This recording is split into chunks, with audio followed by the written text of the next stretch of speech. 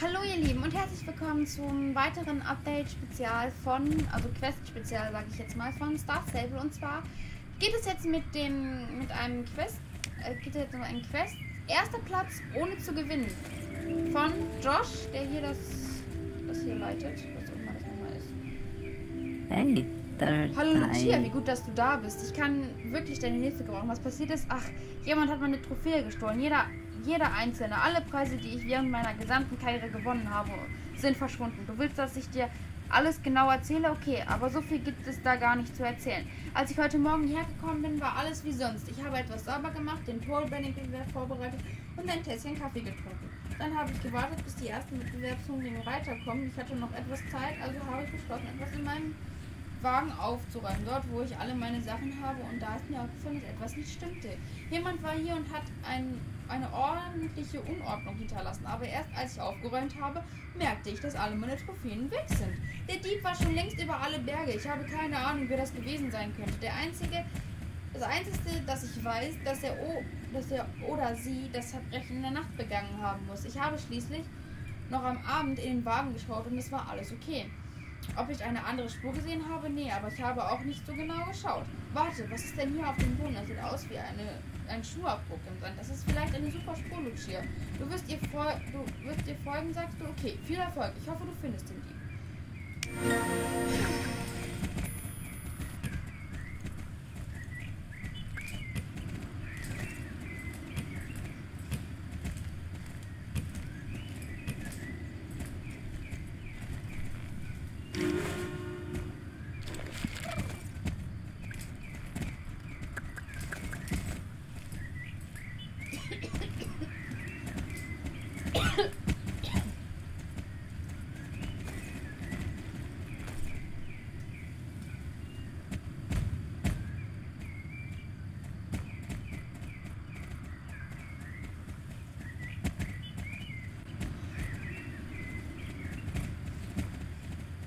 Oh Mann, warum ausgerechnet jetzt? Jetzt habe ich Schluck auf. Es gab keine weiteren Spuren mehr. Ach, das kann man, da kann man wohl nichts machen. Wie? Du hast ein Stoff, Stoffstück gefunden, das vielleicht von den. Entschuldigung. Das vielleicht von den Kleidern des Diebes stammen. Hm.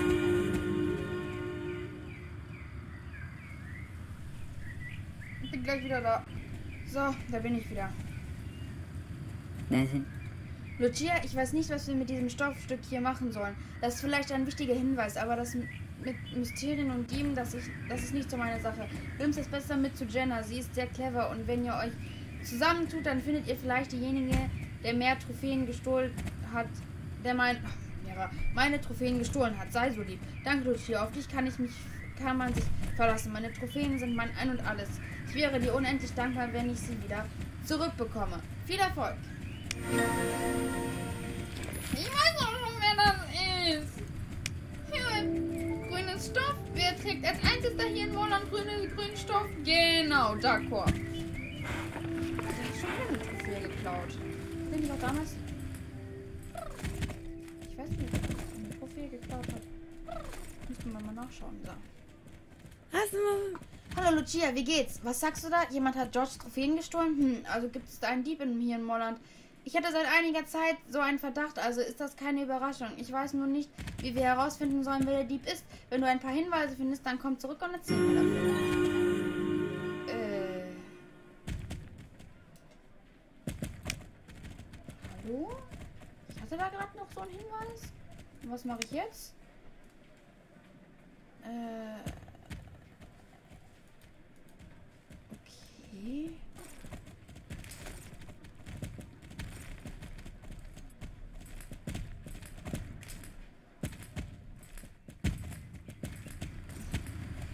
Ich hatte doch gerade noch ein Stück grünes Stoff. Wo ist denn das hin? Das ist nicht weiß genug. Müsste ja dann, wenn ich das genau wüsste, hier runterlaufen und dann hier. Ich reiche das jetzt mal gerade rasch nach ob ich hier irgendwie sowas noch eine Schuhe oder so finde. Aber den grünen Stoff kann ich mir nämlich schon denken, wer das ist.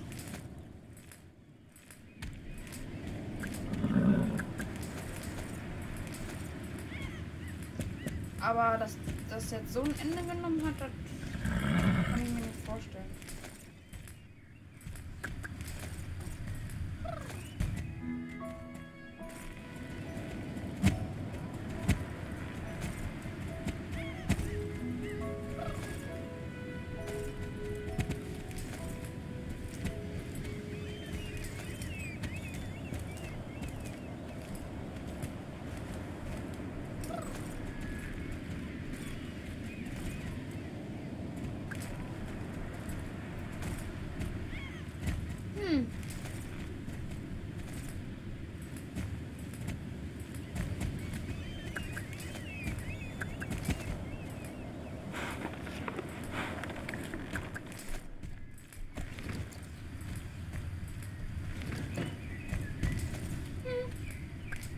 So, was noch ist, es hat ein neuer Meistershop in äh, Moorland aufgemacht und da wollte ich jetzt auch nochmal mit euch hingehen, m, mir die Sachen dort anzugucken und irgendwie finde ich das jetzt komisch, dass ich hier gar, nicht, gar nichts finde, was...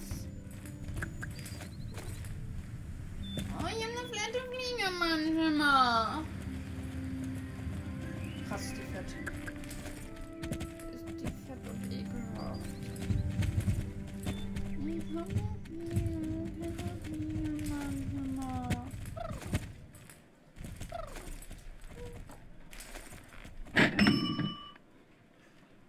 Ist das der? Ja.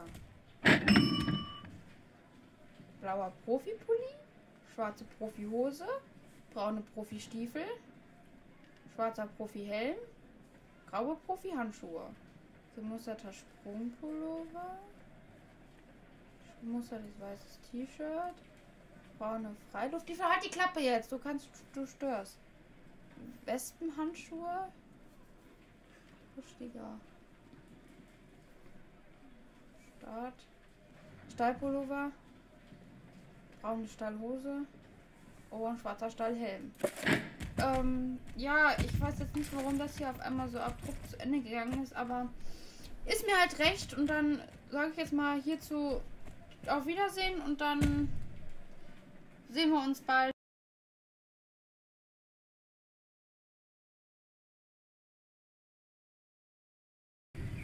Hallo ihr Lieben und herzlich willkommen zum einem weiteren äh, ja, ich sag mir wieder Update. Quest Spezial und jetzt geht's mit Frau Hausworth weiter. Geh aus dem Weg. Madame.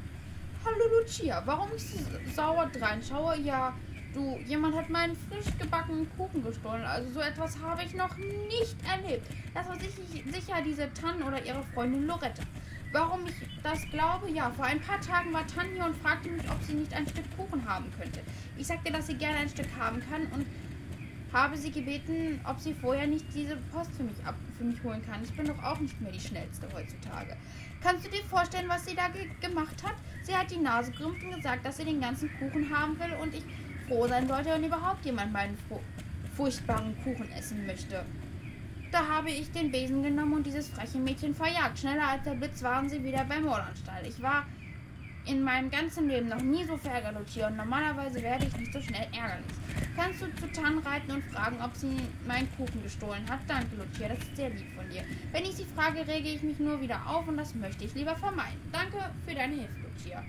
Frage Tan, ob sie den Kuchen von Frau Hauswort hat. Ähm.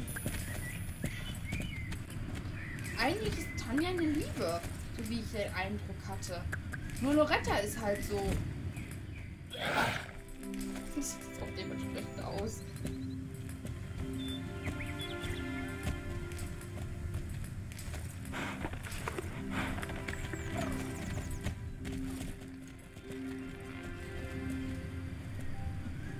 Oh. Wie Kuchen? Also ich habe sicher keinen Kuchen von der alten Oma gestohlen. Niemand mag ihren Kuchen. Der ist super eklig. Aber Ich bin keine Dieb. Ich bin kein Dieb, Lucia. Ich schwöre. Da will mir jemand eins auswischen. Sicher, Loretta?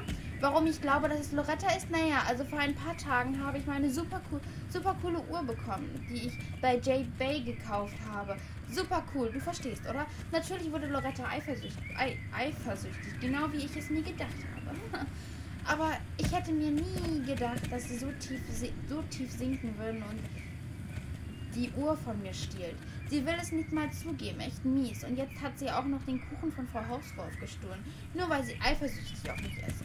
Du sprichst mit Loretta, sagst du? Okay, viel Glück oder wie auch immer. Sag ihr, dass ich meine Uhr wieder haben will, ansonsten sind wir die längste Zeit Freundin, Freunde gewesen.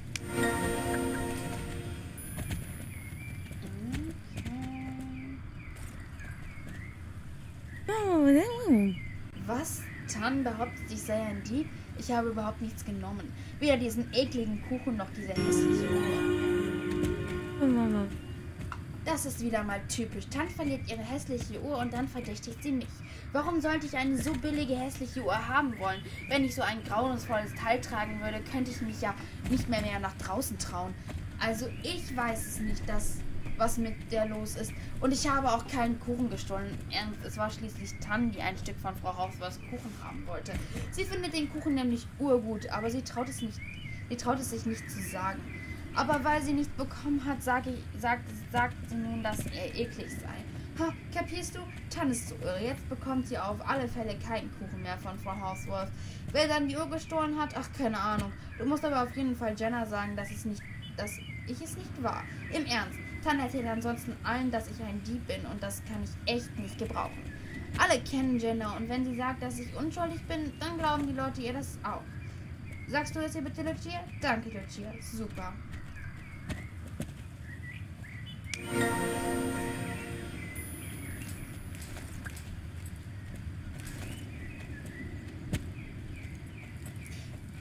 Jetzt habe ich das auch verstanden. Diese drei Quests, die hängen zusammen. Ha! Die hängen zusammen, die drei Quests. Warte, Jenna. Jenna. Mama. Hallo Lucia, wie kann ich dir helfen? Äh, Loretta lasst ausrichten, dass sie weder Frau Hausfrau's Kuchen noch Tanz Uhr gestohlen hat. Ich wusste nicht mal, dass die Sachen verschwunden waren. Wirklich seltsam. Findest du es nicht auch, Lucia? Da gilt etwas Vorsicht, das mir gar nicht gefällt. Lucia, komm zurück, wenn du noch mehr von seltsamen Dingen hier in Moorland erfährst. So, da ich ja jetzt weiß, dass die, ganzen, dass die drei Quests zusammenhängen, werde ich die auch zusammenschneiden. Dann wird da wahrscheinlich ein nochmal ein Hallo kommen, aber wenn ihr das weiter guckt, dann, äh, dann, dann wisst ihr, dann wisst ihr ja, was, was hier los ist. Jetzt gehe ich nämlich noch zu dem Schmied und höre mir an, was der mit seinem Hammer da zu tun hat. Nee, mal gucken.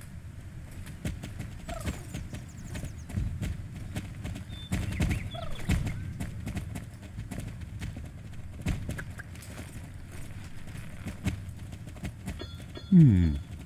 Guten Tag, Lucia. Ich habe im Moment leider keine Zeit mit dir zu reden. Weißt du, ich habe Jenna versprochen, die meisterliche Blumenkiste für sie von der vor Sonnenuntergang fertig zu schmieden und ich bin bereits verspätet. Hm. Dieser Hammer hier ist nicht das richtige Werkzeug für diese Blumenkiste, wenn diese Kiste die beste auf der Welt werden soll. Dann darf es hier keine Kompromisse geben. Ich brauche meinen kleinsten Hammer. Warum ich verspätet bin, Lucia, wenn du meinen kleinsten Hammer für mich holst kann, kannst, dann werde ich es dir erzählen. Danke, ich habe mir eine kleine Pause verdient. Also lass mich zuerst von diesem seltsamen Ereignis erzählen, dass es an meiner Verspätung schuld ist. Es war heute Morgen, als ich mit dem täglichen Schmiedearbeiten anfangen wollte, da sah ich einen komischen Mann auf die Schmiede zukommen. Er hatte eine Kapuze über dem Gesicht und dunkle Sonnenbrille auf der Nase. Es war ein sehr warmer Tag und dicke, dicke Wolken lagen über dem Himmel. Also kam mir das etwas seltsam vor. Na gut.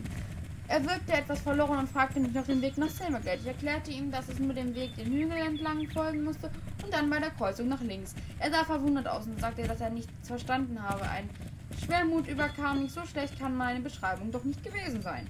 Na gut, soll man soll mal einer sagen, dass Konrad Maaßen keine ordentlichen Wegbeschreibungen liefern kann. Also habe ich beschlossen, ihm die beste aller Wegbeschreibungen zu geben. Ich habe ausführlich erklärt, wie er gehen musste. Ich habe auf das Schloss gezeigt und gleich dessen ganze Geschichte erzählt, damit er diese, äh, dieses wichtige Gebäude nicht vergisst.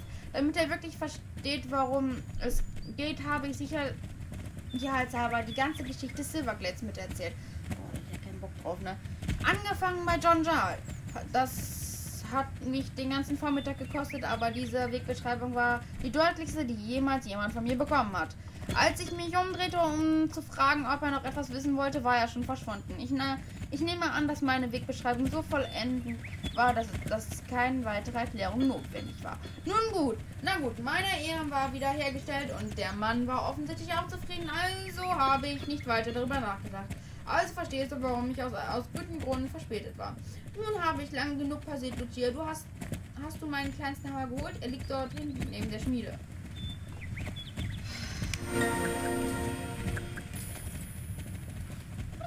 Wo er wahrscheinlich nicht liegt.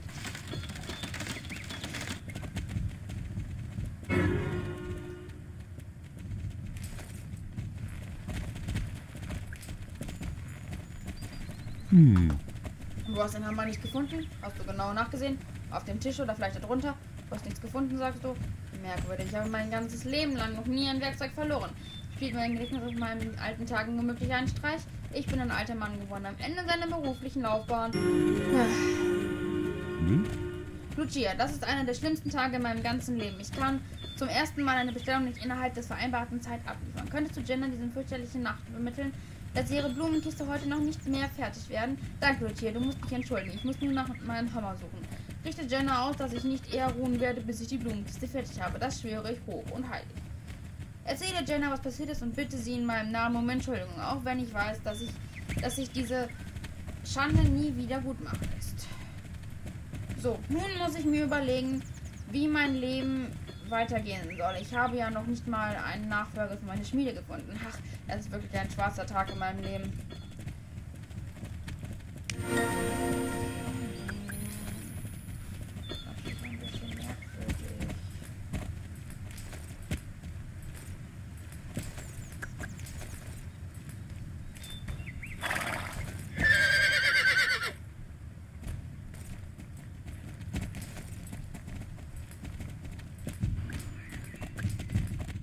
Das ist ein bisschen merkwürdig. Klappe jetzt.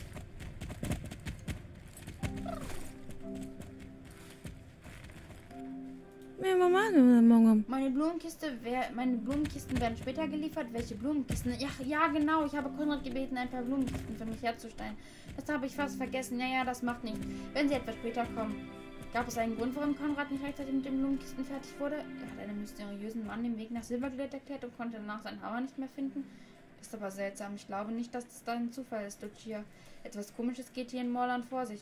Wenn du noch mehr von solchen seltsamen Vorfällen hörst, dann erzähl mir bitte davon. Äh, achso. Äh, Oh? Lucia, ich glaube, ein Dieb treibt sein Unwesen in Moorland. Konrads Hammer, Joss Trophäensammlung, Tanzuhr und Frau Hausbaus Kuchen. Alles auf mysteriöse Weise verschwunden. Das kann einfach kein Zufall sein. Meinst du nicht auch? Hm, etwas in der Erzählung könnte uns verraten, wer der Dieb ist. Das habe ich so im Gefühl. Weißt du noch, was sie gesagt haben? Konrad meinte, dass er Besuch von einem seltsamen Mann bekommen hat. Das muss der Dieb gewesen sein. Leider meinte Konrad auch, dass er die Diebe eine Kapuze und eine dunkle Sonnenbrille hatte. Also konnte er nicht sehen, wie der Schurke aussah. Hm. Dann habe ich. Dann haben wir das grüne Stoffstück, das du hinter Josh bei. das du hinten bei Josh gefunden hast. Das stammt sicher von der Kleidung des Diebes. Was meinst du? Ein Dieb, der den Tatort verlässt, möchte so schnell wie möglich davonkommen. Es wäre also nicht verwunderlich, wenn er dabei mit seinen Kleidern am Zaun hängen bleibt. Tan hat nicht erzählt, wie Iru verschwunden ist, aber ich frage mich, ob es nicht der Dieb war, der den Kuchen von Frau Hauswolf genommen hat. Der ist zwar nicht wertvoll, aber selbst ein Dieb hat man Hunger. Er wird wohl den Duft ihres wunderbaren Apfelkuchens gerochen haben. Es gibt einen wichtigen Hinweis in Frau Hauswolfs Geschichte, das weiß ich. Hm. Lucia, wir werden uns ein bisschen den Kopf zerbrechen, um dieses Rätsel zu lösen. Komm schon. Wir schauen mal, ob wir, ob wir auf etwas drauf kommen. Lucia, ich glaube, dass die Erzählung der Zeugen Hinweise liefern können, wer der Dieb ist. Hilf mir zu erinnern, was, was sie gesagt haben. Wessen Erzählung sollen wir als erstes durchgehen? Nehmen wir erstmal Josh. Lucia hat das Stoffstück, das du bei Josh gefunden hast. Das muss doch von der Kleidung des Diebes. Welche Farbe hatte sie? Grün. Ja, genau, das Stoffstück war grün. Das bedeutet wohl, dass er die grüne Kleidung anhatte. Gut, dass du dich erinnern konntest, Lucia. Lucia, ich glaube, dass bla bla bla bla. Konrad Marzen. Der Schmied hat zwar nicht das, die Geschichte des Diebes, das Gesicht des Diebes, in, aber das spielte vielleicht keine, keine so große Rolle. Konrad hat uns trotzdem einen wichtigen Hinweis gegeben. Erinnerst du dich, wie der Schurke ausgesehen hat, Lucia? Äh. Kapuze und Sonnenbrille. Exakt, der Dieb hatte eine Kapuze auf und dunkle Sonnenbrille. Du hast wirklich ein gutes Gedächtnis, Lucia, ausgezeichnet. Äh, Lucia, ich glaube, dass die Erzählung der Blabla Frau Hauswurst. Ich glaube, der Dieb war hungrig und wurde vom Duft von Frau Hauswurst Kuchen aus seinem Versteck gelockt.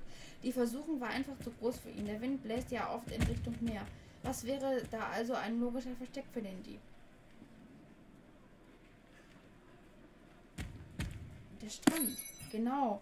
Was, ist, was ich mir auch gedacht habe. Der Strand liegt schließlich genau zwischen Frau Hausvors Haus und dem Meer. Also muss sich der Dieb dort aufgehalten haben.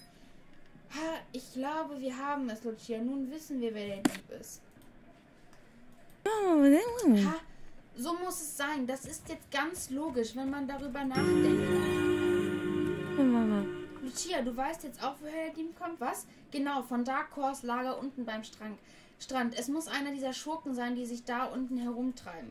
Sie tragen grüne Mäntel mit Kapuzen, sie tragen immer dunkle Sonnenbrille und wenn der Wind weht, können alle den wunderbaren Duft von Frau Hausvors Apfelkuchen riechen. Lucia, alles deutet darauf hin, dass der Dieb einer von diesen Dark Core Gaunern ist. Nun müssen wir herausfinden, wer es ist. Man kann sie ja kaum auseinanderhalten. Sie sehen ja alle gleich aus. Hm, was wollen wir tun? Es gibt wohl keinen sicheren Plan, aber das Beste ist wohl, wenn wir es so machen. Lucia, du reist zum Dark Core Lager am Strand und siehst nach, ob du noch mehr Hinweise findest.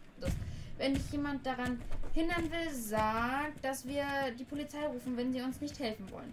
Warum wir nicht gleich die Polizei rufen? Tja, ich glaube, im Moment hat die Polizei auch keine Chance, den Dieb zu fassen. Lucia, bis sie da sind, ist er schon längst über alle Berge. Wir müssen die Sache selbst in die Hand nehmen. So schnell wie möglich. Reise zum Strand, Lucia. Viel Erfolg.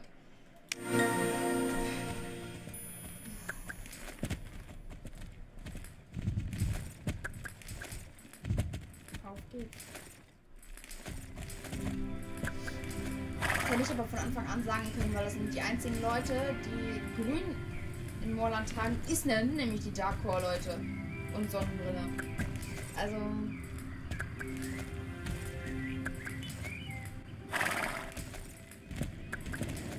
kann vielleicht sein, dass ich mich gerade ein bisschen beim Leben überschlage.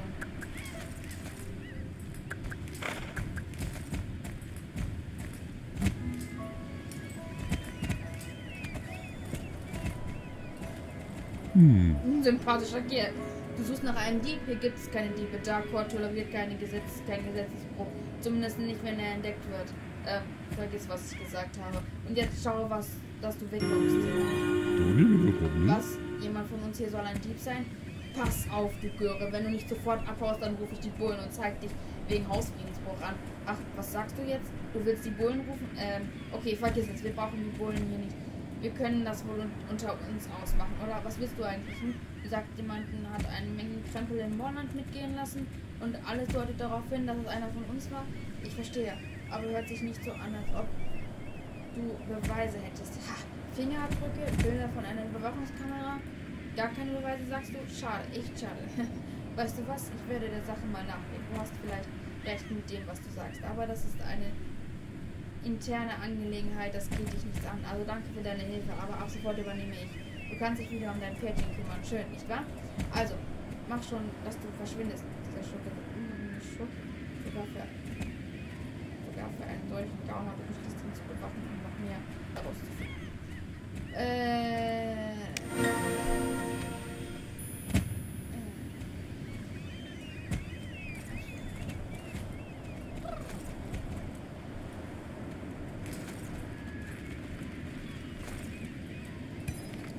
Dann suchen wir uns mal einfach das zum Spielen.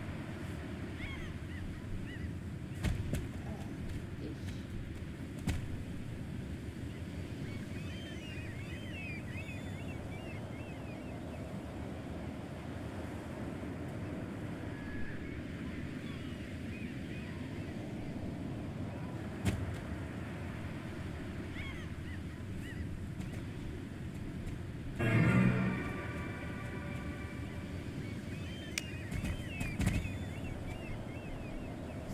Hm?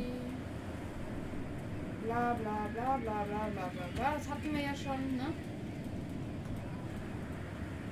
Also muss ich ihm zu Fuß hinterherlaufen? Na super.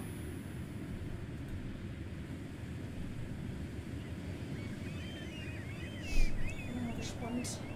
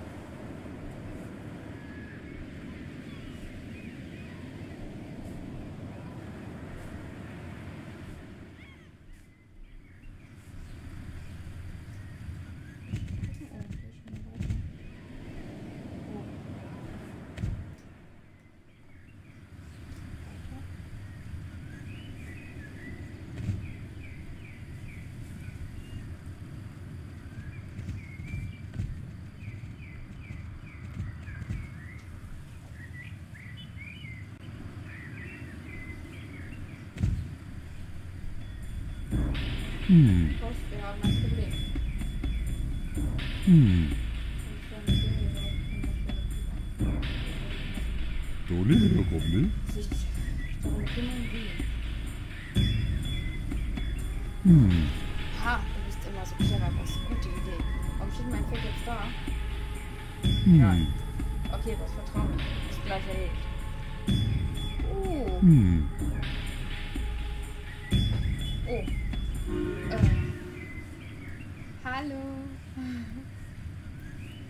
Dolly wiederum nicht. Hast du das gehört? Ah, Naja, es sieht so aus, als ob es tatsächlich einen Dieb hier im Dark-Core-Lager gibt.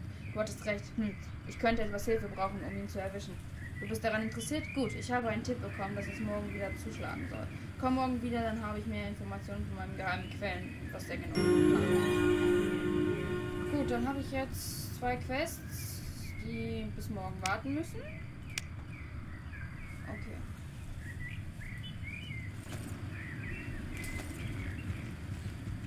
So, dann sehen wir uns wieder und kommt wahrscheinlich ein kleiner Cut rein mit ähm, Entschuldigung und so und dann sehen wir uns gleich, gehen wir sehen uns dann wieder. Ciao, ciao!